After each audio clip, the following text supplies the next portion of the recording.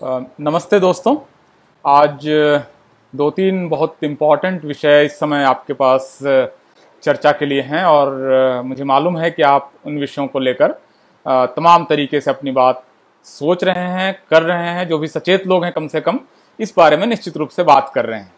तीन बड़े मुद्दे इस समय भारत में सामाजिक रूप से अगर देखा जाए तो बहुत महत्वपूर्ण सवाल इस समय खड़े हुए हैं। इससे पहले, इसमें पहला सवाल जो है, वो जो मेडिकल एंट्रेंस का एग्ज़ाम है, उसमें ओबीसी रिजर्वेशन का है। दूसरा सवाल, मध्य प्रदेश, छत्तीसगढ़ और झारखंड में ओबीसी को जो कम रिजर्वेशन मिलता है 27 परसेंट की जगह सिर्फ़ 14 परसेंट रिजर्वेशन मिलता है, इससे जुड़ा सवाल है, ये दूसरा सवाल है जो इस समय एक, बहुत बड़े प्रश्न के रूप में पूरे देश की राजनीति को तमाम तरीके से प्रभावित कर रहा है। और तीसरा प्रश्न जो है, वो जातिवार जनगणना का है। तो तीनों प्रश्न को समेटने के लिए शायद एक बातचीत काफ़ी नहीं है। तो तीनों पर तीन अलग अलग फेसबुक लाइव आने वाले समय में संभवतः इसमें से एक फेसबुक लाइव मैं आज ही रात में साढ़े नौ बजे के आसपास करूँगा। और इसके अलावा नीट का सवाल मेरे ख्याल से मैं नीट के सवाल पर जो डिटेलिंग है, जो इसका विस्तार है, जो इसका एक ब्रॉड फ्रेमवर्क क्या क्या है, इस पर मैं साढ़े नौ बजे एक बार आपसे आकर फिर से बातचीत करूँगा, क्योंकि ये बहुत करंट सवाल है। दूसरा प्रश्न जो है, वो जिन राज्यों में ओबीसी का आरक्षण 27 परसेंट नहीं मिल रहा है, जहाँ पर 50 से 60 प्रतिशत ओबीसी आबादी है, इसके बावजूद 27 प्रतिशत आरक्षण भी नहीं मिल रहा है, उन राज्यों के लिए जो सवाल हैं ओबीसीज का, लगभग आधी या उससे ज़्यादा आबादी का, ये सवाल कैसे हल होगा, इस पर मैं कल आपसे बातचीत करूँगा। और आज जो अ, मैं आपको आज फेसबुक पर आपके सामने मैं लाइव हूँ इसमें मुख्य रूप से मैं कास्ट सेंसस का जो सवाल है जाति जनगणना का सवाल है इसको मैं आपके सामने रखने की कोशिश करूँगा। इससे रिलेटेड जो भी प्रश्न आपको पूछना हो कृपया वो अपने कमेंट में ज़रूर पूछें। और जितने लोग अभी हमारे साथ जुड़ चुके हैं प्रिंस मौर्य दीपक कुमार और जैसे अभी एक सवाल आया है कि दलित नेता को ओबीसी की ज़रूरत नहीं है। इस तरह के तमाम सारे कमेंट्स आ रहे हैं। बाब बोदरा साहब, कई सारे लोगों के कमेंट्स ऑलरेडी आने लगे हैं। तो मुझे लगता है कि आप लोग इसको काफ़ी गंभीरता से देख रहे हैं। रमन राधा साहब का कमेंट है, धर्मवीर यादव जी का एक कमेंट है। तो लगातार मुझे लगता है कि काफ़ी लोग इस पर कमेंट कर रहे हैं। बड़ी संख्या में लोग जुड़े हुए हैं।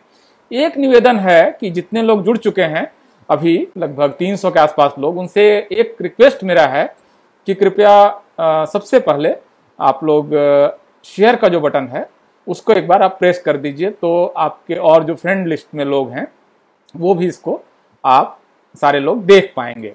तो कृपया सारे मित्र, इसको जो शेयर का बटन है, उसको आप लोग प्रेस कर लें। क्योंकि आप महत्वपूर्ण मान रहे हैं तो ज़ाहिर है कि आपके दोस्तों के लिए भी ये बहस महत्वपूर्ण होगी, ये चर्चा महत्वपूर्ण होगी। तो कृपया शेयर का बटन अपने अपने मोबाइल फ़ोन पर आप एक बार क्लिक कर लें और उसके बाद हम कास्ट सेंसस के सवाल पर एक डिटेल चर्चा, एक विस्तारित चर्चा रखेंगे और आप सबके सवालों के जवाब मैं इसमें लेने की कोशिश करूँगा। और जितने और अपनी क्षमता के हिसाब से जो भी बेस्ट है इसको मैं रखने की कोशिश करूँगा। कास्ट सेंसस पर मेरी एक किताब भी है जो मानक पब्लिकेशन से प्रकाशित हुई है और काफ़ी चर्चित किताब रही है। काफ़ी लोग उसको खरीद चुके हैं और उसका सारा सारा अंक बिक भी चुका है। तो सारे लोग कृपया एक बार शेयर का बटन दबा दें। और आप लोगों की इजाज़त अगर हो तो और ऑडियो अगर ठीक ठाक आ रहा हो, जो आप कंफर्म कर दें तो अब मैं कास्ट सेंसस पर अपनी बात की शुरुआत करना चाहता हूँ। ये एक, जो पूरा वीडियो है, ये कॉपीराइट फ्री है तो कोई भी अगर अपने यूट्यूब वगैरह पर कहीं भी इसको लगाना चाह रहा है तो उसमें मुझे क्रेडिट देने की या उसके रेवेन्यू में मुझे हिस्सेदारी करने की ज़रूरत नहीं है, वो इसको अपने यहाँ लगा सकते हैं। तो कास्ट सेंसस का जो सवाल है, आप सब लोगों ने, क्योंकि अब इसको शेयर कर लिया है अपने तो अब मैं अपनी बातचीत शुरू कर रहा हूँ। कास्ट सेंसस का सवाल 2021 में इसलिए पूछा जा रहा है क्योंकि ये सवाल जो है, वो सेंसस से जुड़ा हुआ है और सेंसस भारत में हर 10 साल पर होने वाली एक सरकारी कवायद है। और ये साल जनगणना का वर्ष है। तो 2021 इससे पहले 2011 इससे पहले 2001 इससे पहले उन्नीस उससे पहले उन्नीस सौ इक्यासी।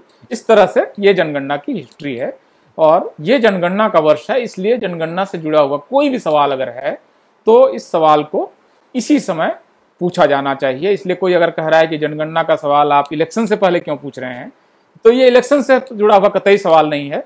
दो दो अगर इलेक्शन का वर्ष नहीं होता यूपी इलेक्शन का तो भी इस सवाल को ज़रूर ही पूछा जाता, क्योंकि ये जनगणना का वर्ष है।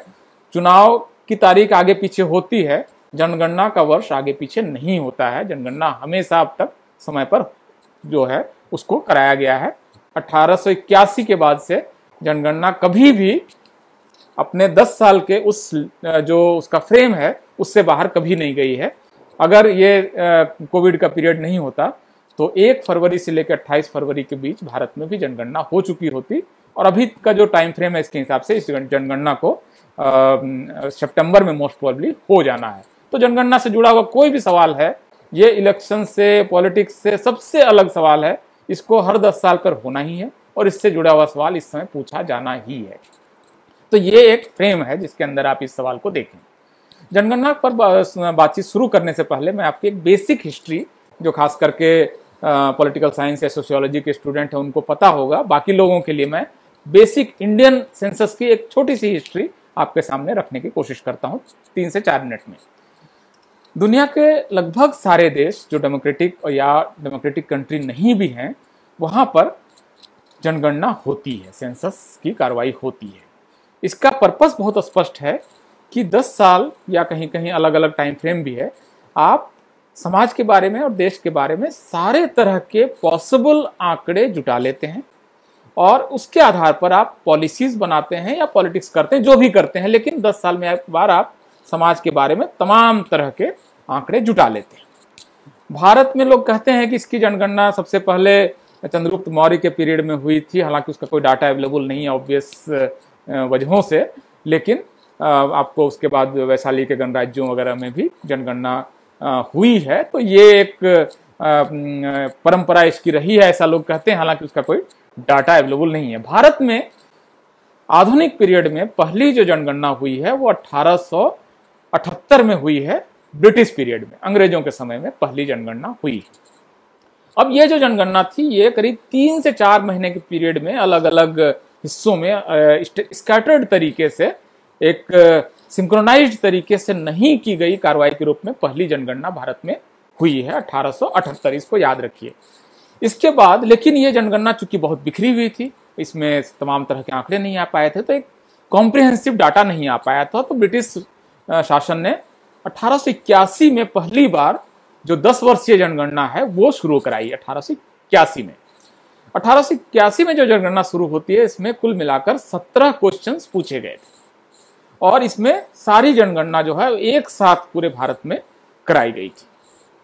बहुत सारे नए लोग इसमें अब जुड़ चुके हैं। अब इसमें साढ़े चार सौ के आसपास लोग ऑलरेडी हैं। महेंद्र कुमार यादव जी हैं और विनोद मौर्य जी हैं। आप सबका स्वागत और आप सबसे निवेदन है जो नए लोग जुड़े हैं कि आप इसको शेयर कर लें। तो मैं जनगणना की इस समय बेसिक हिस्ट्री बता रहा हूँ। अभी इसका जो जनगणना की पॉलिटिक्स है, इसके बियॉन्ड है। ये इसकी हिस्ट्री अगर कोई भी लिखेगा तो इसी तरह से लिखेगा।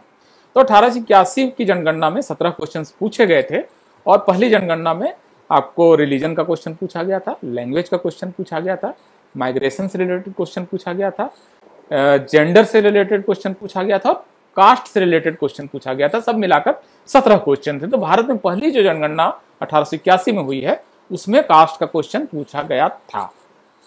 उसके बाद अठारह में क्वेश्चंस की संख्या तेरह घटकर हो गई, लेकिन उसमें भी कास्ट का क्वेश्चन था। तो भारत में जो लगातार इसके बाद जनगणना होती रही, उसमें जाति का प्रश्न पूछा गया, धर्म का प्रश्न पूछा गया, शिक्षा का प्रश्न पूछा गया जेंडर का क्वेश्चन पूछा गया, घर कच्चा है कि पक्का है ये पूछा गया तो इस तरह के सारे क्वेश्चन पूछे गए। अठारह इसके बाद आपको 1901 तक मतलब अठारह सौ इक्यासी, उन्नीस, अठारह सौ इक्यानवे, उन्नीस सौ एक, ये जनगणना लगातार होती। सौ दो में आप देखेंगे कि शाहू जी महाराज, जो कोल्हापुर नरेश उस समय थे और छत्रपति साहू, शिवाजी महाराज के वंशज वो हैं, उन्होंने अपने राज्य में पहली बार जो गैर ब्राह्मण जातियाँ हैं, उनके लिए सरकारी नौकरियाँ जो हैं, राज्य की जो नौकरियाँ, उसमें 50 परसेंट सीटें रिज़र्व कर दी। अब ये जो रिजर्वेशन आया, इसके लिए जो डाटा उन्होंने कलेक्ट किया, ये सारा डाटा उनको इन्हीं सेंसस के फिगर्स से मिला कि कुल मिलाकर उनको पता चला कि मराठा इतना है, कुंभी इतने हैं महार इतने हैं, मांग इतने हैं, माली इतने हैं, ये सारा डाटा उनके पास आया और इसके ब्राह्मण कितने हैं और कायस्थ कितने हैं, ये सारा डाटा आया और इसके बाद उनके पास एक दूसरा डाटा था कि जो कोल्हापुर के सरकारी जो नौकर हैं, सरकारी कर्मचारी हैं, वो उनका कास्ट का फिगर आया। ये दोनों फिगर जब उन्होंने सामने सामने रखा तो उनको पता चला कि कोल्हापुर की लगभग सारी आबादी, बहुत छोटी सी आबादी, पाँच सात परसेंट के अलावा सारी आबादी जो जिसको आज की तारीख में शेड्यूल्ड कास्ट या ओबीसी कहते हैं या डीएनटी या शेड्यूल ट्राइब करते हैं, उनकी है। जबकि सरकारी जो नौकरियाँ हैं, उसमें नब्बे से बानवे प्रतिशत, पंचानवे प्रतिशत तक एक ब्राह्मण जातियों के और कुछ कायस्थ जातियों के लोग हैं। ये असंतुलन उनको साहू जी महाराज को नज़र आया। तो इसके आधार पर उन्होंने रिपोर्ट बनाई और वो सारा कुछ इतिहास है आपके पास। अवेलेबल है उसको लेकर का, काफ़ी बुक्स हैं कि किस तरह से उन्होंने फिर पहली बार उन्होंने आरक्षण लागू किया अपने राज्य में 1902 में। तो आप समझ सकते हैं कि किस तरह से सेंसस और कास्ट का सवाल और कास्ट सेंसस का सवाल सोशल जस्टिस और रिजर्वेशन के सवालों से जुड़ा हुआ सवाल है। साहू जी महाराज जिन्होंने बाबा साहब अंबेडकर की शिक्षा का भी बंदोबस्त किया उनकी पहली पत, जो पत्रिका थी मूक नायक उसके लिए उन्होंने पहला सीड कैपिटल दो हज़ार रुपये जो उस समय बड़ी रकम थी वो दिया। बाबा साहब को उन्होंने कहा कि सारे वंचितों का नेता स्याहो जी महाराज की विरासत आप जानते हैं कितनी गौरवशाली विरासत है। तो उन्होंने इस कास्ट सेंसस के डाटा का इस्तेमाल अपने यहाँ रिजर्वेशन देने में किया। तो भारत में रिजर्वेशन की जो हिस्ट्री है वो कास्ट सेंसस की हिस्ट्री से जुड़ी हुई है। ये कास्ट सेंसस की हिस्ट्री का एक पार्ट है। अब इसके बाद जो इसके बाद जनगणना तो लगातार जारी रहती है, उन्नीस सौ ग्यारह में होती है, उन्नीस सौ इक्कीस में होती है, उन्नीस सौ इकतीस में होती है और उन्नीस सौ इकतालीस में भी जनगणना का कार्य शुरू होता है, लेकिन उन्नीस सौ इकतालीस की जनगणना सेकेंड वर्ल्ड वॉर के कारण कंप्लीट नहीं होती है और उसका जो आंकड़ा है वो कलेक्ट नहीं किया जा सकता है टेबुलेट नहीं किया जा सका। इस वजह से इन सारी जनगणनाओं में क्योंकि कास्ट का आंकड़ा है तो 1931 की जनगणना, इस तारीख को बहुत गौर से आप याद रखिए, बहुत इंपॉर्टेंट है कि 1931 की जनगणना आखिरी जनगणना है, जिसमें कि जाति के आंकड़े इकट्ठा किए गए। आज की तारीख में जो तमाम राजनीतिक विश्लेषक कहते हैं कि इस राज्य में इस सीट पे इतने ब्राह्मण हैं, इसमें यहाँ इतने कायस्थ हैं, इतने यादव हैं, इतने कुर्मी हैं, इनके पास कोई डाटा नहीं है, इनके पास कोई भी इस तरह का कॉम्प्रिहेंसिव फिगर नहीं है। ये सब कुछ 1931 के आंकड़े के आधार पर और उसको चूँकि बहुत कम लोग देखते हैं तो बना के वो अपने ढंग से अपने अपने कास्ट अपने अपने संख्या बढ़ाकर, जो लिखने वाला होता है रिपोर्टर वो अपनी जात की संख्या बढ़ाकर वो बताता है। और तमाम अगर दावों को माने तो हर कंस्टिट्यूंसी में हर जात अपनी दूसरी दोगुनी संख्या में मौजूद है, क्योंकि सबका क्लेम इस तरह से है। तो उन्नीस एक बहुत इंपॉर्टेंट वर्ष है, जिस समय की आखिरी जनगणना होती है जिसमें कि कास्ट से जुड़े हुए सारे आंकड़े इकट्ठा किए जाते हैं। तो देखिए, मैंने आपको बताया कि अठारह सौ अठहत्तर, फिर अठारह सौ एक महत्वपूर्ण साल है, जिसमें कि हर दस साल की जनगणना शुरू होती है। फिर उन्नीस तक की जनगणना होती है, जिसके आंकड़ों के आधार पर भारत में पहली बार रिजर्वेशन लागू होता है। फिर उन्नीस का वर्ष आता है, जिसमें कि जनगणना जो है, वो कास्ट के आधार पर उसमें आंकड़े इकट्ठा किए जाते हैं। जो आखिरी जनगणना है, जिसमें कि हर जाति को गिना गया है, हर कास्ट को गिना गया है, इसमें किसी जात को छोड़ा नहीं गया है। और उसके आंकड़ों का आपके आप ज़्यादातर यूनिवर्सिटी की लाइब्रेरी में उन्नीस सौ इकतीस की जनगणना अवेलेबल है। वेबसाइट पर भी आप, अगर आप ढूंढेंगे उन्नीस सौ इकतीस की जनगणना तो थॉमस पिकेटी ने, जो पेरिस यूनिवर्सिटी के प्रोफेसर हैं, उन्होंने भी अपनी वेबसाइट पर डाला है तो ये जनगणना की रिपोर्ट आपको उन्नीस सौ इकतीस की जनगणना की रिपोर्ट आपको मिल जाएगी। उसी के आधार पर भारत में अब भी पॉलिसी बनती है। अब उन्नीस सौ इकतीस मैंने आपको बताया, अब उन्नीस सौ इकतालीस में आपने, मैंने आपको बताया कि क्यों कास्ट की गिनती होने के बावजूद जनगणना का, की रिपोर्ट क्यों कंपाइल नहीं की गई, उसको क्यों टेबुलेट नहीं किया जा सका। और उसके बाद का वर्ष आपको उन्नीस के बाद उन्नीस आता है। अब उन्नीस से उन्नीस सौ इक्यावन के बीच में भारत आज़ाद होता है, भारत में संविधान लागू होता है और भारत में पहली कैबिनेट बन जाती है। अब उन्नीस सौ इक्यावन की जनगणना होनी है। उन्नीस सौ इक्यावन की जनगणना में भारत की सरकार, जो पंडित जवाहरलाल नेहरू की सरकार है, वो ये फैसला करती है कि जनगणना के बाकी सवाल तो हम पूछेंगे, लेकिन जो कास्ट का सवाल है, इसको हम नहीं पूछेंगे। उन्नीस सौ इक्यावन पहली जनगणना है भारत के जनगणना के इतिहास में, जिसमें सरकार ये फैसला करती है कि हम जनगणना से जुड़ा हुआ कोई, जाति से जुड़ा हुआ कोई प्रश्न इस जनगणना में नहीं पूछेंगे। इसके पीछे तर्क क्या था? तर्क उस समय की सरकार का ये था कि हम एक मॉडर्न जो डेमोक्रेट, डेमोक्रेसी है, उसमें जा रहे हैं, आधुनिकता में जा रहे हैं, नए समय में जा रहे हैं, नए लोकतंत्र में जा रहे हैं तो कास्ट का जो क्वेश्चन है, इसको हम पीछे छोड़ जाते हैं। हम मान के चलते हैं कि अब एक नागरिक की पहचान है, जो भारतीय पहचान है, वो सबसे महत्वपूर्ण पहचान होगी और कास्ट की पहचान धीरे धीरे पीछे चली जाएगी। तो हम कास्ट की गिनती नहीं करते हैं। तो उन्नीस सौ इक्यावन में भारत सरकार के इस फैसले के बाद भारत में कास्ट सेंसस का चलन बंद हो जाता है। लेकिन ये कहना पूरी तरह से सच नहीं है। इसमें आपको, मैं अपने ही सेंटेंस का एक क्वालिफायर दे रहा हूँ। भारत सरकार ने यह फैसला किया तो कि कास्ट से जुड़ा हुआ क्वेश्चन नहीं पूछा जाएगा, लेकिन इसका मतलब यह नहीं है कि कास्ट की गिनती बंद हो गई। सरकार ने फैसला किया कि एससी और एसटी से जुड़ा हुआ सवाल पूछा जाएगा। हर जो जनगणना का कर्मी आएगा, वो जाएगा ये प्रश्न पूछेगा कि आप एस सी एस टी हैं कि नहीं है, और उसके बाद उनकी कैटेगरी पूछी जाएगी। तो जाति की जनगणना भारत में कभी भी पूरी तरह से बंद नहीं हुई। एस सी एस टी की गिनती अभी भी होती है और उन्हें और इस साल जो जनगणना होने वाली, इसमें भी एस सी और एस टी का सवाल पूछा जाएगा। तो कंटिन्यूसली आप कास्ट का क्वेश्चन पूरी तरह से आप सेटिसाइड नहीं करते हैं, आप सेलेक्टिवली कास्ट का कवाल, सवाल पूछते हैं। तो अब आपको ये चौथा वाटरसेड ईयर है, जबकि जनगणना से जुड़ा हुआ एक बड़ा बदलाव हो जाता है और सारी जातियों की गिनती बंद हो जाती है उन्नीस सौ इक्यावन में। इसके बाद उन्नीस सौ इक्यावन आता है, फिर उन्नीस आता है, उन्नीस सौ इकहत्तर आता है। इस बीच में एक चीज़ और हो जाती है, जो संविधान में आर्टिकल 340 है, जिसमें कि ये कहा गया है कि एक केंद्र सरकार, जो सरकार है, वो एक आयोग का गठन करेगी, जो सोशली और एजुकेशनली बैकवर्ड क्लासेस का पता लगाएगी और उनसे जुड़ी हुई नीतियाँ बनाएगी। 340 340 आर्टिकल। बहुत सारे लोग कहते हैं कि बाबा साहब ने ओबीसी के लिए क्या किया तो उनको देखना चाहिए कि आर्टिकल 340 जो कॉन्स्टिट्यूशन में आया है, उससे जुड़ी हुई डिबेट आप देखेंगे तो 340 बाबा साहब ने कितना एफर्ट किया। और बाबा साहब का, बल्कि आप और ज़्यादा कुछ मत देखिए, बाबा साहब का रेजिग्नेशन लेटर जो हर जगह मौजूद है, उनके वॉल्यूम में भी और वेबसाइट पे भी उसको पढ़िए। बाबा साहब ने अपने रिजिग्नेशन की जो तीन वजहें बताई थी, उसमें से दूसरी वजह जो है, वो वजह बताते हैं कि हमने आर्टिकल 340 तो कॉन्स्टिट्यूशन में शामिल कर लिया। मैं कैबिनेट का मेंबर हूँ, मैं लॉ मिनिस्टर हूँ और मैं इस लॉ मिनिस्ट्री में रहते हुए भी ओबीसी जो बैकवर्ड क्लासेस से जुड़ी हुई सरकार की पॉलिसी है, उसको मैं बना नहीं पा रहा हूँ। सरकार गठन नहीं कर रही है पिछड़ा वर्ग आयोग का, और इसकी वजह से मैं इस्तीफा देता हूँ। तो बाबा साहब ने पिछड़े वर्गों के लिए इस्तीफा दिया हिंदी कोड बिल, इसकी दूसरी वजह थी। तो बाबा साहब के योगदान को याद करते हुए हमें याद रखना चाहिए कि बाबा साहब ने पिछड़े वर्गों के आरक्षण के लिए इस्तीफा दिया है। जो तीन वजह हैं उसमें, दूसरी सबसे बड़ी वजह उन्होंने बताई है कि पिछड़े वर्गों के लिए आरक्षण नहीं बाबा साहब का रिजिग्नेशन लेटर कोई ऐसी चीज़ नहीं छुपा हुआ है। कोई भी आदमी इसको पढ़ सकता है और देख सकता है कि उन्होंने आर्टिकल 340 और ओबीसी के लिए क्या किया है बाबा साहब ने। कोई भी अगर प्रश्न पूछे आपसे कि बाबा साहब ने ओबीसी के लिए क्या किया तो आप कहना चाहिए कि आप बाबा साहब का रेजिग्नेशन लेटर पढ़िए। उन्होंने लॉ मिनिस्टर से इस्तीफा दिया ओबीसी के लिए, इस देश के पिछड़ों के लिए।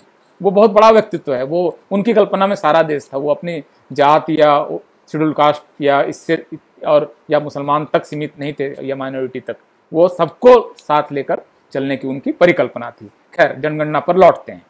तो इस बीच में पहला पिछड़ा वर्ग आयोग बनता है काका कालेलकर के, अध्यक्षता में और वो ऐसी रिपोर्ट देता है जिसकी वजह से ओबीसी रिजर्वेशन लागू नहीं हो पाता है और उनके पास जाति का आंकड़ा नहीं अवेलेबल है। तो किसी तरह से घुमा फिरा कर एक रिपोर्ट बनाकर दे देते हैं। तो पहला पिछड़ा वर्ग आयोग इस बीच में बनता है और जनगणना न होने के कारण कोई ठोस आंकड़ा नहीं होता है। अब इसके बाद एक वर्ष आता है जनगणना का उन्नीस अठारह सौ का। इस बीच में एक चीज़ और होती है कि जनता पार्टी की देश में सरकार बनती है, कांग्रेस, इंदिरा गांधी हारती हैं और जो मुरारजी भाई और उसके बाद चरण सिंह प्रधानमंत्री बनते हैं, इस सरकार ने एक फैसला किया कि हमको दूसरा पिछड़ा वर्ग आयोग बनाना है। तो दूसरा पिछड़ा वर्ग आयोग का गठन होता है, बीपी मंडल, उसके चेयरपर्सन बनते हैं और इसको मंडल कमीशन के नाम से देश जानता है।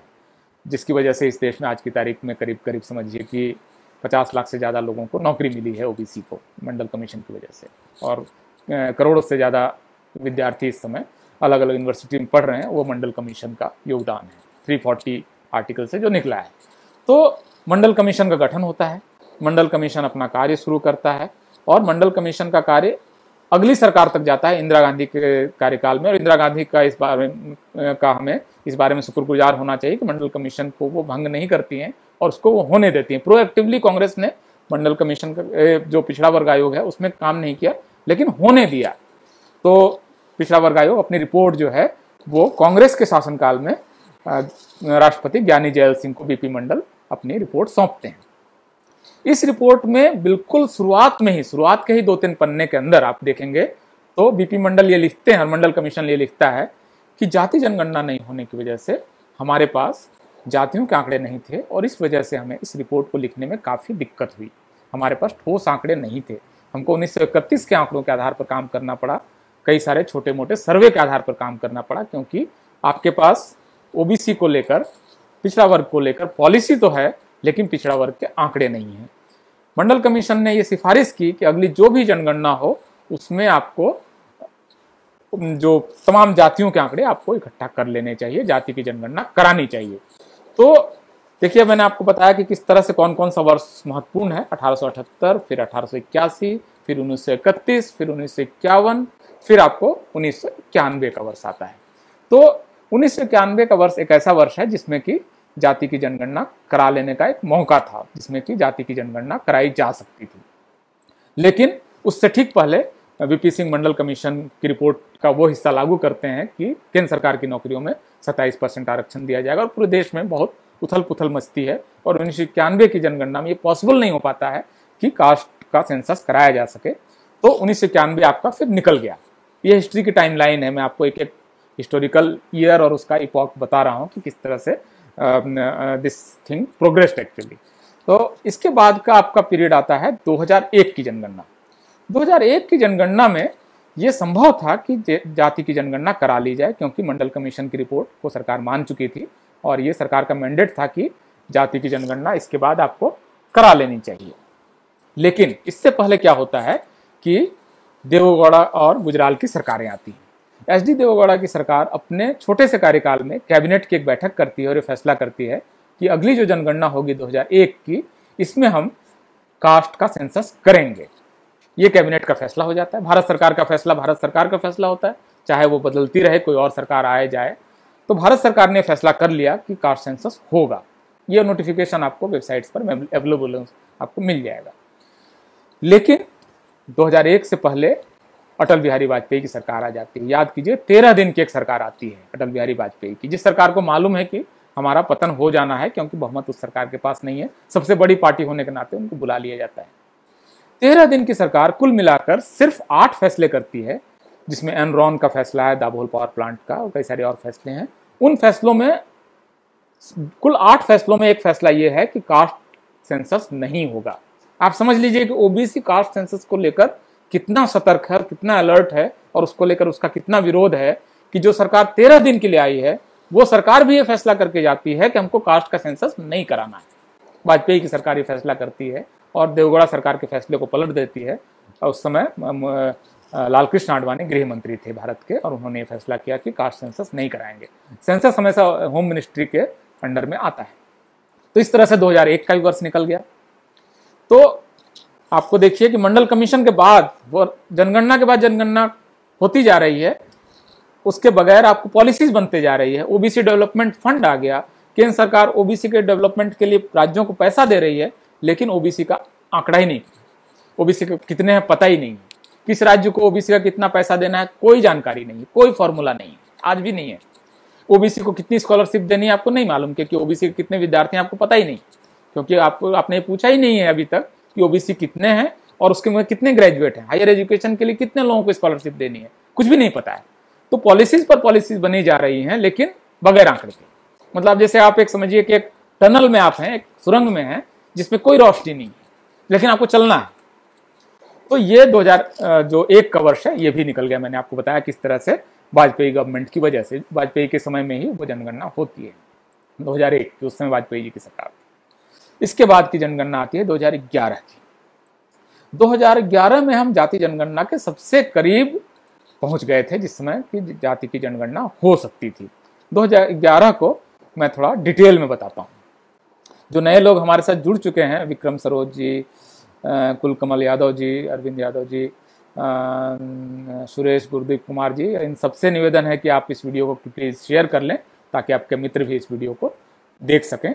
और आपके क्वेश्चंस मैं देख रहा हूँ लगातार, इसका मैं जवाब देने की भी कोशिश करूँगा। सारे क्वेश्चन अब इस समय मेरे पास हैं। वीरेंद्र भगत जी, बहुत बहुत शुक्रिया। सुरेश कुमार जी, आप सबके क्वेश्चंस में देख रहा हूँ और कोशिश करूँगा कि इस बातचीत के आखिर में उनका जवाब मैं दे सकूँ। तो ये जो 2011 का वर्ष था, इससे पहले भारत में ओबीसी के अंदर में, क्योंकि देख रहे थे ओबीसी देख रहे थे कि लगातार पॉलिसीज़ बनने में दिक्कत हो रही है, हमको आरक्षण का लाभ नहीं मिल रहा है, स्कॉलरशिप्स नहीं मिल रही हैं, ओबीसी को बैंक का लोन नहीं मिल रहा है, ये सारे सवाल ओबीसी बिजनेसमैन को बिज़नेस करने में दिक्कत आ रही है, ये सारे सवाल उठने लगे थे। खास करके तमिलनाडु में, आंध्र प्रदेश में कर्नाटक में, जहाँ पर ओबीसी की चेतना बहुत ज़्यादा है, केरल में, फिर आपको एक लेवल तक महाराष्ट्र में, जहाँ ओबीसी बहुत जागरूक हैं इन सारे राज्यों में जो ज़्यादा पढ़े लिखे राज्य भी हैं, यहाँ से ओबीसी के सेंसस की मांग उठने लगी थी बहुत एग्रेसिव तरीके से, जोरदार तरीके से। तो इसको लेकर पार्लियामेंट में एक बहस आयोजित होती है छह और सात जून 2010 में। और इसमें 40 के आसपास, मेरे ख्याल से एग्जैक्ट नंबर 42 है, इतने वक्ताओं ने इसमें अपनी बात रखी। दो दिन पूरी बहस चलती है, लगभग 10-10 12-12 घंटे की बहस है। और इसमें सारे लोग पार्टिसिपेट करते हैं, सारी पार्टियाँ पार्टिसिपेट करती हैं। इसमें आप देखेंगे बहुत बड़े बड़े टावरिंग बहुत दिग्गज पार्टिसिपेट करते हैं आपको इसमें लालू यादव पार्टिसिपेट करते हैं गोपीनाथ मुंडे पार्टिसिपेट करते हैं बीजेपी के तरफ़ से सीपीएम के तरफ़ से रामचंद्र दोम पार्टिसिपेट करते हैं शरद यादव इसमें पार्टिसिपेट करें इस बहस में हुकुमदेव नारायण यादव जी हैं आपको संदीप दीक्षित हैं कांग्रेस की तरफ़ से आ, सारी पार्टियाँ आपको बी बीएसपी की तरफ़ से दारा सिंह चौहान थे इसमें सपा की तरफ़ से इसमें आपको मुलायम सिंह यादव जैसे मैंने आपको बताया ही है तो ये सारे नेता के चालीस अलग अलग जो नेता हैं, वो इसमें पार्टिसिपेट करते हैं। और छः और सात जून की आप पार्लियामेंट की अगर कार्यवाही वेबसाइट पर देखेंगे लोकसभा की साइट पर तो आपको दिखेगा कि इसमें हर नेता ने, हर वक्ता ने कास्ट सेंसस का सपोर्ट किया। और भारत में पहली बार लोकसभा के अंदर में कास्ट सेंसस कराने पर आम सहमति बन गई।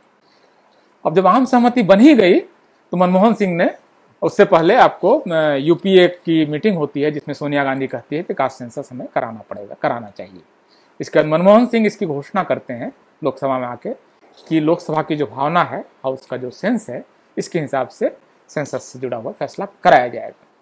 तो सारे लोग निश्चिंत हो गए। इसमें बहुत, इसके पीछे बहुत सारे लोगों ने जमीनी काम किया है, जैसे जनहित अभियान जैसे संगठन है, भाई राजनारायण है, इन सारे लोगों ने दिल्ली में बहुत सारे सेमिनार कराए महाराष्ट्र में आंदोलन चला कि अगर जाति की जनगणना नहीं होगी तो हम जनगणना कर्मियों को अपने घर में घुसने नहीं देंगे। तमाम तरह के आंदोलन इस बीच में चले और आपको खास करके साउथ में तो बहुत इसको लेकर बहुत एग्रेसिव किस्म का मूवमेंट चला। ज़्यादा पढ़े लिखे लोग हैं, अपने अधिकारों को लेकर सचेत लोग हैं।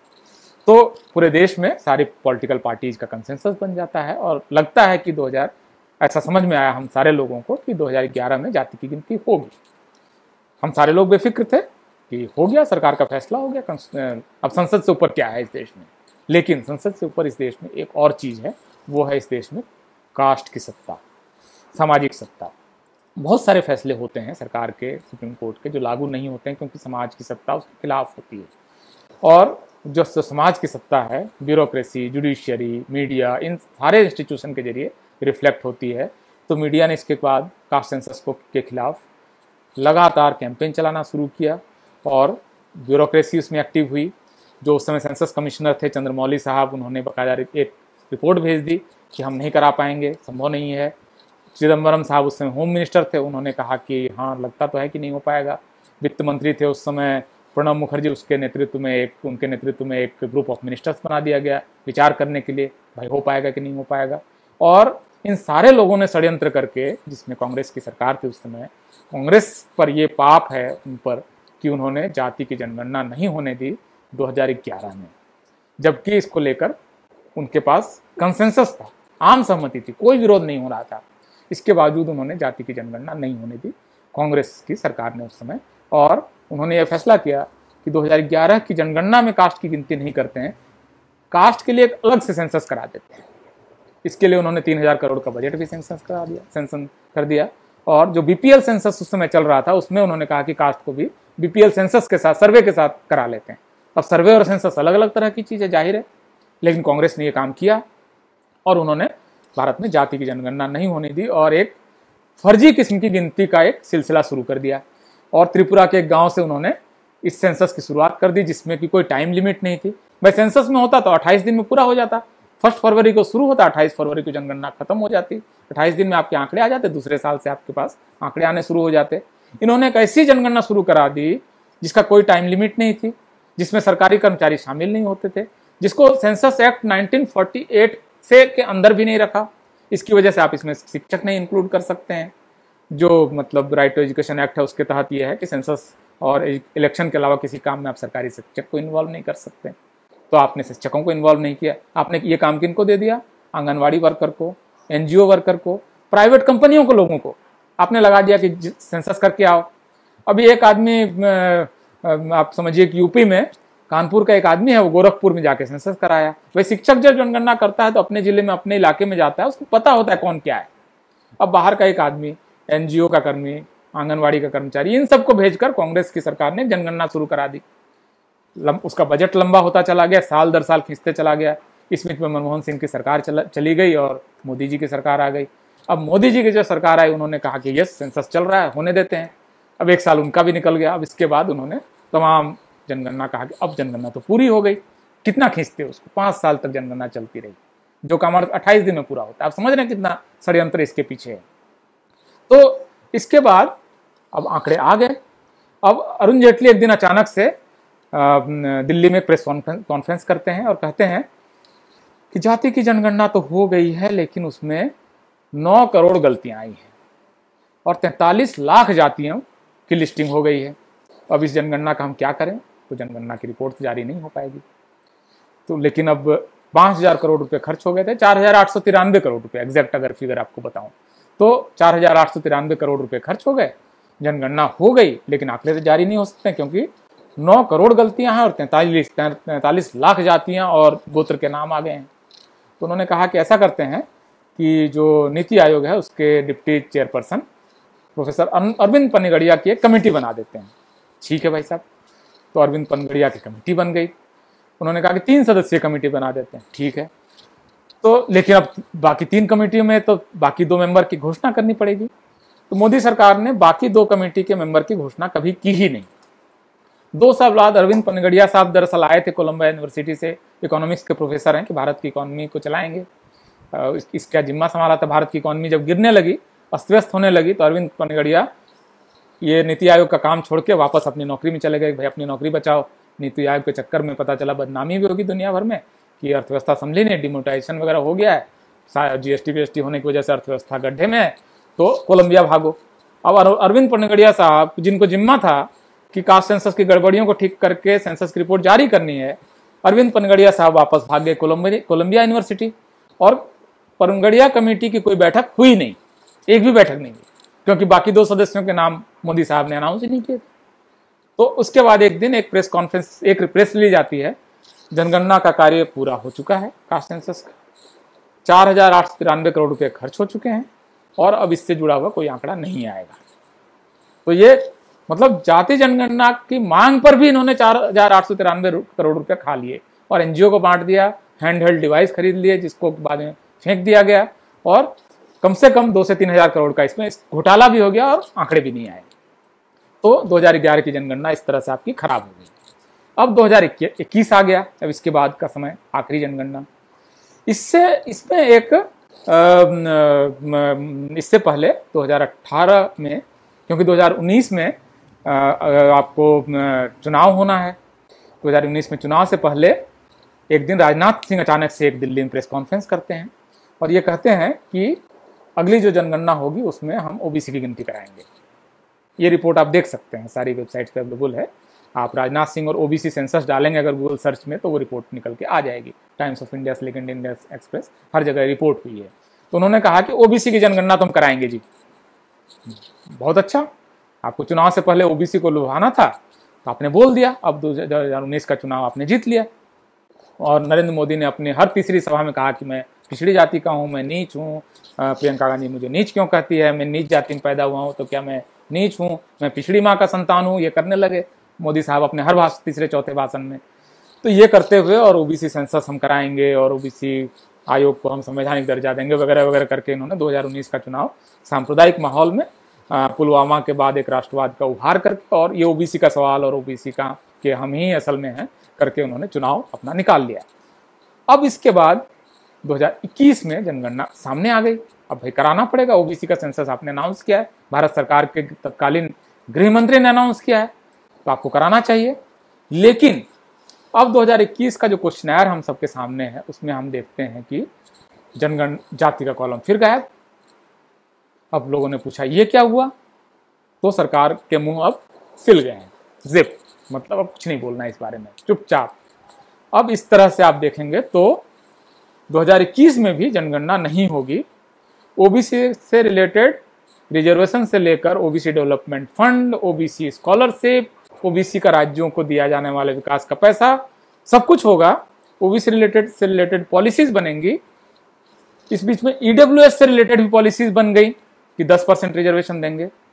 अब किसी राज्य में जो ईडब्ल्यू के अंदर जो जातियाँ आती हैं या जो वर्ग आते हैं, उनमें किसी राज्य में तीन परसेंट है, किसी में पाँच परसेंट है। वहाँ आपने, केंद्र सरकार ने धक्का लगा के हर राज्यों में दस दस परसेंट रिजर्वेशन लागू करवा दिया।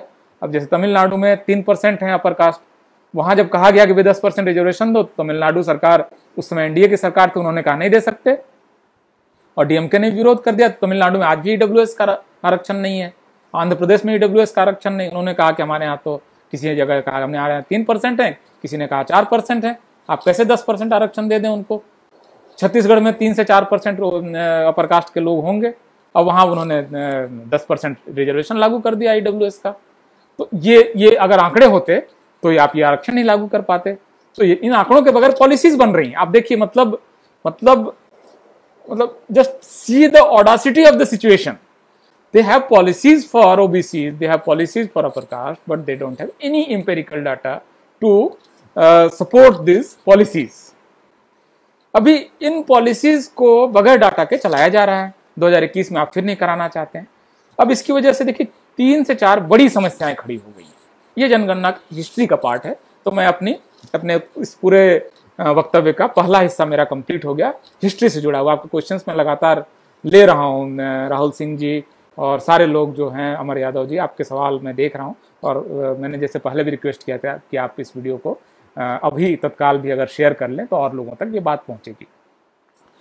तो जनगणना के आंकड़े के बगैर पॉलिसीज़ बन रही हैं। 2021 की जनगणना में फिर से कास्ट का कॉलम नहीं है, सिर्फ़ एस सी से उनकी कास्ट पूछी जाएगी। अपर कास्ट से भी नहीं पूछी जाएगी, जिसको अपर कास्ट बोलते हैं सवर्ण बोलते हैं द्विज बोलते हैं, आप कोई भी नाम ले लीजिए जिसको जनरल कैटेगरी या e कैटेगरी या सुदामा कैटेगरी जो भी नाम आप देना चाहें, उनकी, उनसे भी नहीं पूछा जाएगा और ओबीसी से नहीं पूछा जाएगा। इस बीच में लेकिन लाइव स्टॉक सर्वे हो रहा है मतलब मवेशियों का सर्वे हो रहा है, उनकी जनगणना हो रही है। भारत में आज की तारीख में कितने भैंस हैं, भारत सरकार से पूछें तो भारत सरकार बता देगी कि हमारे यहाँ जो 2019 का लाइव स्टॉक सर्वे है, उसके हिसाब से हमारे पास हमारे देश में इतनी भैंस है, इतनी गाय हैं इतना, इतने सुअर हैं, इतने घोड़े हैं, ये सारे आंकड़े आपको मिल जाएँगे। लेकिन इस देश में कितने ब्राह्मण हैं, कितने क्षत्रिय हैं, कितने ओबीसीज हैं, कितने यादव हैं, कितने कुर्मी हैं, कितने कुम्हार हैं, कितने मल्लाह हैं, जिसके आधार पर आपको पॉलिसीज़ बनानी है उसका आंकड़ा नहीं है। तो ये आपकी सिचुएशन है, यहाँ पर आप हैं। इसकी वजह से तीन चार जो बड़ी बड़ी समस्याएँ खड़ी हो रही हैं, ये मेरे वक्तव्य का दूसरा हिस्सा है। इसकी वजह से सबसे बड़ी प्रॉब्लम तो ये हो रही है कि जो ओबीसी का आरक्षण है, वो लगातार खतरे में है, क्योंकि इससे जुड़ा हुआ मामला हर समय जब कोर्ट में जाता है तो कोर्ट ये पूछता है कि आंकड़े कहाँ हैं ओबीसी से जुड़े हुए? आप इनको इतना आरक्षण क्यों दे दे रहे हैं? तो हर बार आपको आरक्षण बचाना पड़ता है। और, लेकिन कोर्ट कभी ये नहीं कहता है सरकार को कि कास्ट सेंसस करा लो, क्योंकि आप जानते हैं इस देश में न्यायपालिका का किस तरह का चरित्र है और कॉलेजियम से किस तरह के जज आ रहे हैं। लगातार जो आपको भारत में जो सवर्ण जज हैं, उनकी, उनसे ये कोर्ट्स भरे पड़े हैं high court and supreme court तो वो हमेशा आपको ओबीसी का जो का जो आरक्षण है, इसको वो सवालों के दायरे में रखता है, क्योंकि आपके पास आंकड़े नहीं तो सबसे बड़ी समस्या तो ये आ रही बार बार आ रही है। जैसे महाराष्ट्र में भी क्वेश्चन आया कि महाराष्ट्र में जो स्थानीय निकाय हैं ओबीसी को 27 परसेंट आरक्षण क्यों दे दे रहे हैं? सुप्रीम कोर्ट ने उसको खारिज कर दिया। और सुप्रीम कोर्ट ने कहा कि भाई आपके पास आंकड़े हैं, ना कुछ है, आप कैसे ओबीसी का आरक्षण दे सकते हैं? और इस वजह से वहाँ पर पाँच या छह जिलों में स्थानीय निकायों में ओबीसी का आरक्षण इस समय रद्द है आज की तारीख में। ये इस तरह के सवाल आपको खड़े हो रहे हैं। पहला मामला तो ये है। दूसरा मामला जो दिक्कत आ रही है, वो कि भारत में कई सारी जातियाँ इस समय डिमांड कर रही हैं कि हमको ओबीसी के अंदर रखो। हमारा रिप्रेजेंटेशन नहीं है, हमारी शिक्षा का स्तर नहीं है, हम बहुत पिछड़े हुए हैं, हमको आप आरक्षण दो। इस तरह के कई आंदोलन, जिसमें जाट आंदोलन है नॉर्थ इंडिया में आपको इसमें पाटीदार का आंदोलन है गुजरात का, इसमें आपको कफू का आंदोलन है तेलंगाना और आंध्र प्रदेश का, इसमें मराठा आरक्षण है आपका, मराठा आरक्षण का सवाल है महाराष्ट्र का। ये सारी जातियाँ ये डिमांड कर रही हैं कि हमें ओबीसी आरक्षण दो या आरक्षण दो कम से कम। लेकिन भारत सरकार इनको आरक्षण नहीं दे रही है और ये बता भी नहीं रही है कि आपको आरक्षण क्यों क्यों नहीं दे रहे हैं। तब ये जातियाँ क्या करती हैं? ये जातियाँ फिर आंदोलन कर रही हैं। सरकार की बाह मरोड़ने की कोशिश कर रही है। जब ये आंदोलन करती हैं तो सरकार फायरिंग कर देती है। जाट का आंदोलन हो, सरकार फायरिंग कर देगी। पाटीदार आंदोलन हो, सरकार फायरिंग कर देगी। मराठा आंदोलन हो, सरकार दमन कर देगी, लाठीचार्ज कर देगी। गुर्जर का आंदोलन हो कि भाई हमारा पिछड़ापन ज़्यादा है, हमको एक स्पेशल आरक्षण में लाओ। गुर्जर आंदोलन पर सरकार फायरिंग कर देगी। तो ये असल में जब आपके पास आंकड़े न हो, आपके पास फैक्ट ना हो, आपके पास मराठा से जुड़े हुए आज की तारीख में अगर आंकड़े होते तो क्या होता? है भाई मराठा सरकार बताती कि देखो, आप हो तीस परसेंट महाराष्ट्र में और आप सरकारी नौकरी में हो इतने। आपका रिप्रेजेंटेशन है, इसलिए हम आपको आरक्षण नहीं देंगे। क्या बताते कि देखो, आपकी संख्या इतनी है, लेकिन आप सरकारी नौकरी में काफ़ी कम हो, आपकी शिक्षा का भी स्तर बहुत कम है, हम हम आपको आरक्षण देते हैं। ये दोनों तरीके का फैसला तब होता जब आपके पास आंकड़े होते। आप जाटों को बताते कि भाई हाँ आप तो ठीक ठाक जमींदार माने जाते हो, लेकिन सरकारी नौकरी में तो आप गायब हो, शिक्षा का स्तर बहुत कम है। आप में सामाजिक पिछड़ापन भी है, इसकी वजह से हम आपको आरक्षण देना चाहते हैं, या कहते नहीं, आपकी पर्याप्त सरकारी नौकरियाँ, आप शिक्षा में काफ़ी मज़बूत हैं, आपके पास ज़मीन है, आपके पक्का मकान है, आपके आंकड़े ये हैं, ये this is your caste and this is your other sociological figures this is your data and we are going to give you are not going to give you reservation so ये पॉलिसीज़ आपकी बन सकती हैं, अगर आपके पास data हो। इस वजह से पूरे देश में जाति युद्ध छिड़ा हुआ है, क्योंकि सरकार के पास आंकड़े नहीं है, सरकार अपने इंपेरिकल डाटा के बेसिस पे ये नहीं कहने की स्थिति में नहीं है कि आपको हम आरक्षण देंगे या नहीं देंगे और उसका कारण बताने की स्थिति में नहीं। तो ये दूसरी समस्या है।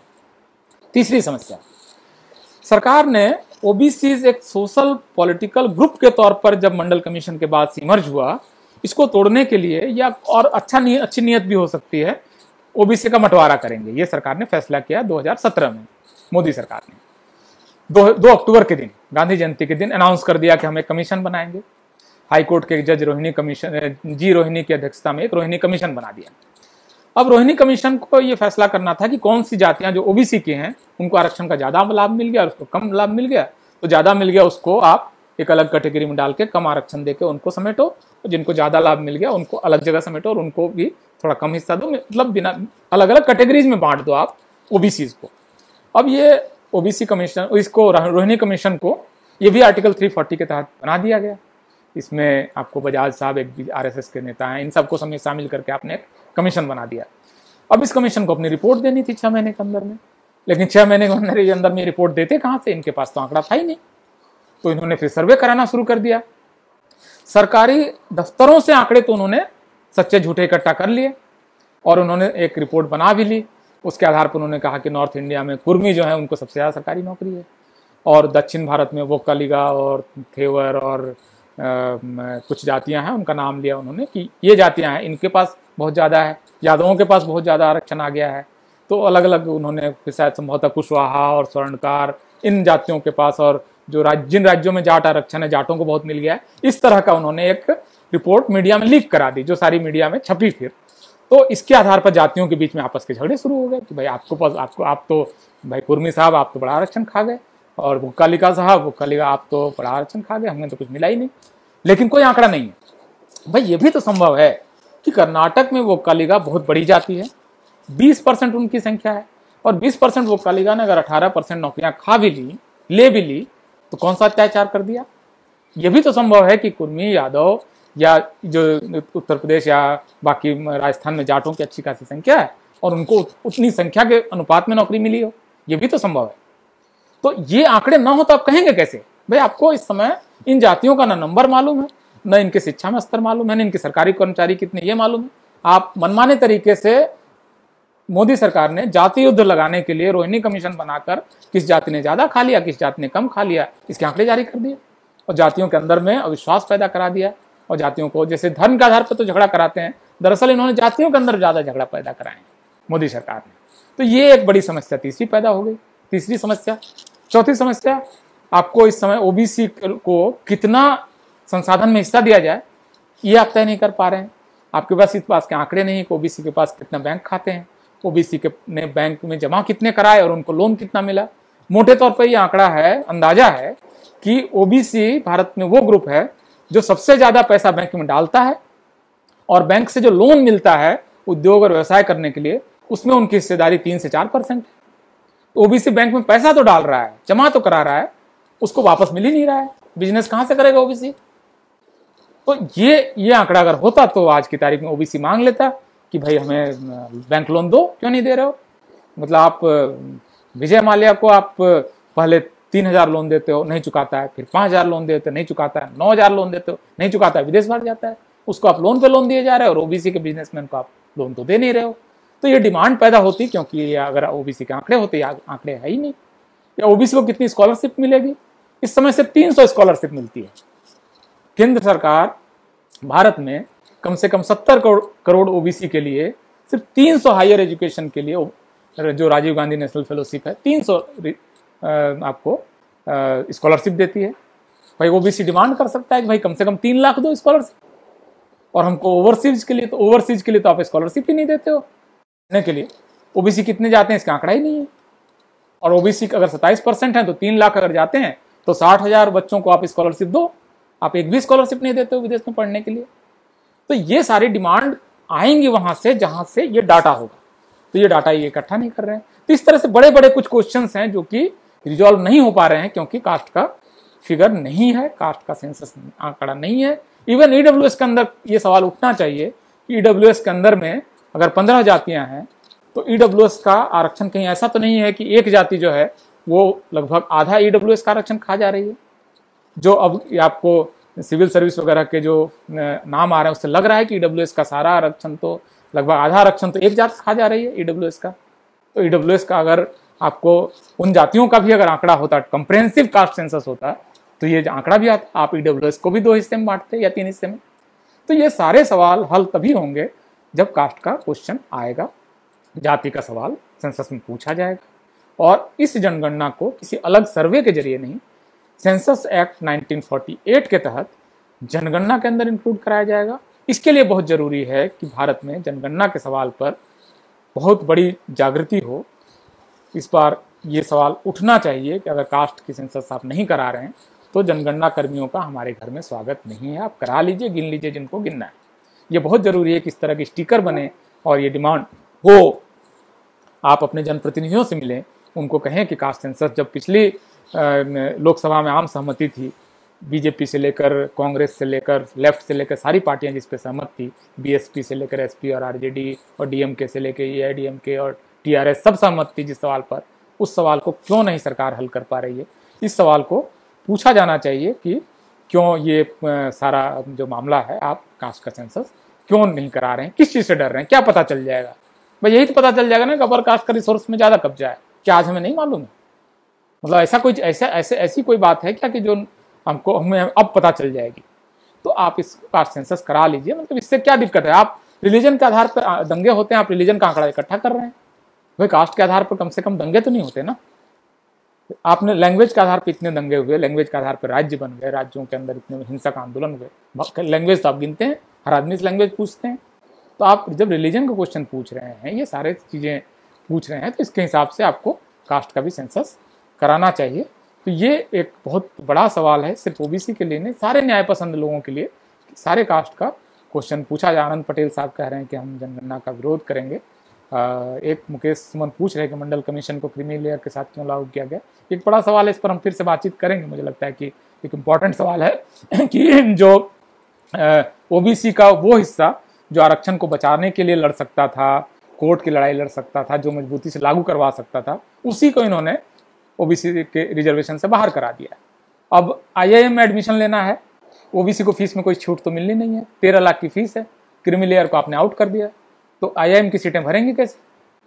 तो ये ये ये सारे सवाल असल में पूछे जाने चाहिए बड़ा इंपॉर्टेंट सवाल है। तो आ, बहुत सारे लोग कह रहे हैं डी कुमार साहब और अजय कुमार डिम्पल साहब बहुत सारे लोग अब जुड़े हैं और ये सारे लोग जनगणना के पक्ष में आमतौर पर अपनी बात कर रहे हैं।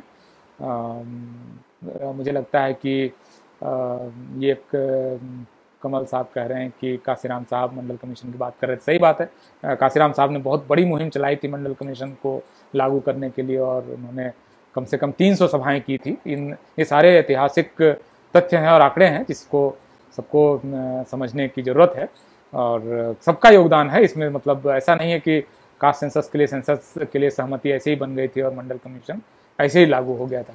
सिक्सटी नाइन ओबीसी शिक्षकों का की भर्ती का सवाल नरेंद्र सिंह साहब उठा रहे हैं कि ये घोटाला हुआ और इसमें कम से कम मुझे जानकारी है कि इसमें सात से आठ हज़ार ओबीसी शिक्षकों का को नौकरी नहीं मिली है यूपी में ये बड़े आ, सवाल हैं इसमें। तो रंजीत सवाल साहब एक सवाल पूछ रहे हैं कि ओबीसी में कुर्मी को आप कहाँ देखते हैं? बहुत कास्ट स्पेसिफिक मामला नहीं है ये एक हर कास्ट से जुड़ा हुआ मामला है किसी एक जाति को इसका विरोध नहीं करना चाहिए। और जनगणना का सवाल असल में सिर्फ़ रिजर्वेशन का क्वेश्चन भी नहीं है। इसको बहुत असल में रिड्यूस करके देखा जा रहा है।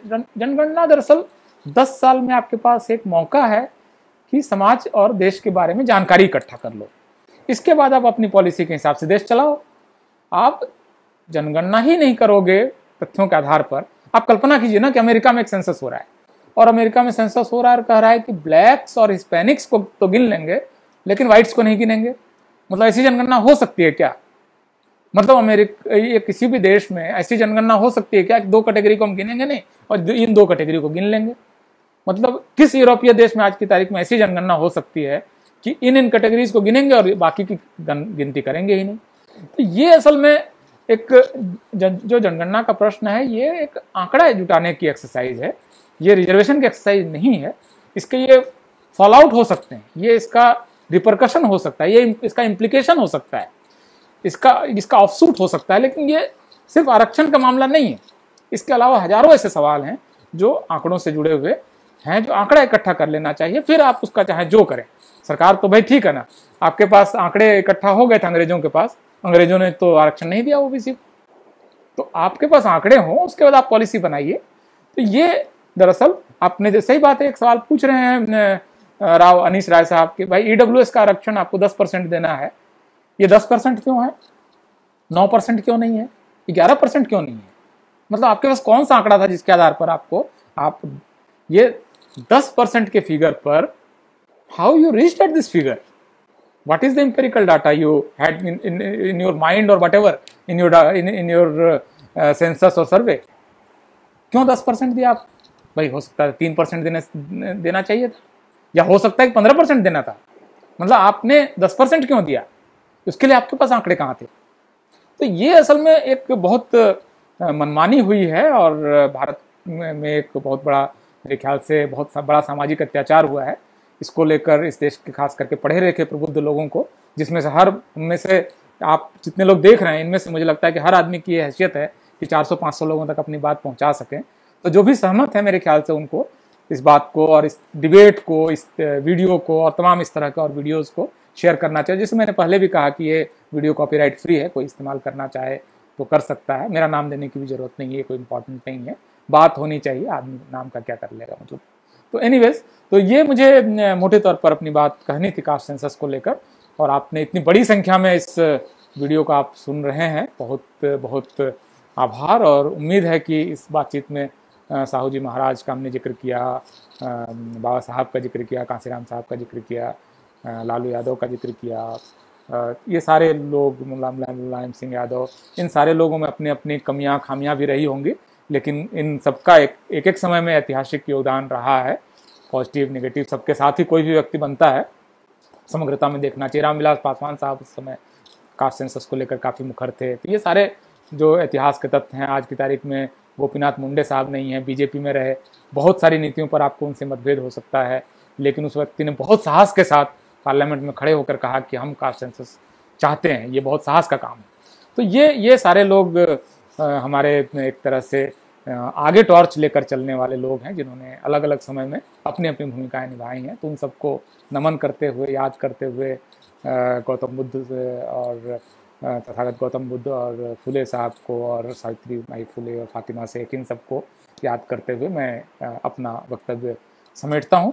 मेरे ख्याल से मैंने अपने जो बड़े आपके कुछ सवाल मैंने, बहुत ज़्यादा सवाल क्योंकि नहीं है, ज़्यादातर कमेंट्स हैं। तो जैसे धर्मेंद्र कुमार क्वेश्चन पूछ रहे हैं कि बड़े नेता इस पर क्यों चुप्पी साधे रहते हैं? तो बड़े नेता हमेशा चुप्पी साधे नहीं रहते हैं। अगर होता तो कास्ट सेंसस का सवाल यहाँ तक नहीं पहुँचता। अलग अलग समय में उनकी चुप्पी है, उनकी तमाम तरह की मजबूरियाँ होंगी, जिसके बारे में शायद हमें पता है, कुछ नहीं भी पता है। तो उनको सिर्फ़ एक खास समय में वो क्या एक्ट कर रहे हैं, इसके हिसाब से पूरी तरह से किसी को खारिज कर देना इतना मतलब अहंकार कम से कम मुझमें नहीं है कि मैं किसी नेता को सिर्फ़ उस उनके एक एक्ट के वजह से या उनके किसी खास समय में उनके एक आचरण की वजह से उस नेता के सारे जीवन काल को और उसमें किए हुए कार्य को रद्द कर दूँ, खारिज कर दूँ, इतना अहंकार मुझमें नहीं है, इतना, इतनी मेरी काबिलियत भी नहीं है।